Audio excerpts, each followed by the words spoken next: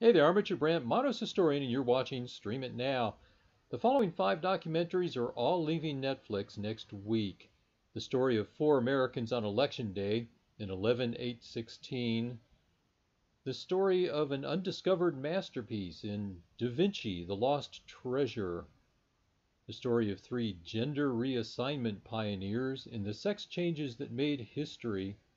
The story of some Florida pledges in This World Frat Boys, and the story of six camp survivors in Touched by Auschwitz.